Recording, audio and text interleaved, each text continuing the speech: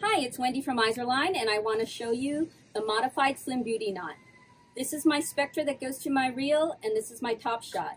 I'm going to lay the two lines against each other and with the tag end of my top shot I'm going to do a one, two, three, four turn uni knot, wet it and cinch it, and then I'm going to, with the tag end of my spectra, I'm going to wrap it around my leader. One, two, three, four, five, six, seven, eight, nine.